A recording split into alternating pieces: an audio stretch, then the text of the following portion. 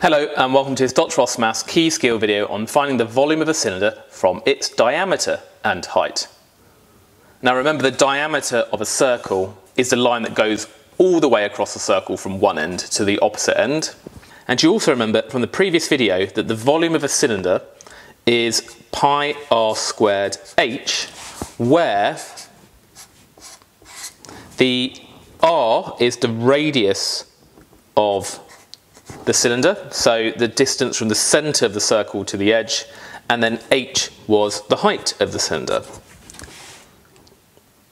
So that's the formula we need to use. So what's the volume of this particular cylinder? So we got pi multiplied by the radius squared. Now the diameter, the full way across the circle is 20 and therefore the radius, just the distance from the the circle to the circumference of the circle, that would be 10. So to make sure you use the radius of the circle, not the diameter, r is for radius, so 10 squared multiplied by the height of the cylinder, which is 18. And if we shove that into our calculator, shift pi to get the pi, and then times by 10 squared multiplied by 18. Now, my calculator says 1,800 pi. It's giving an exact answer rather than using decimals.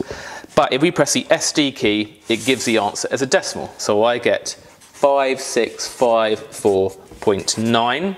Now, these lengths are all in centimetres, so the unit for volume will be centimetres cubed, and that was to one decimal place. So that's the final answer.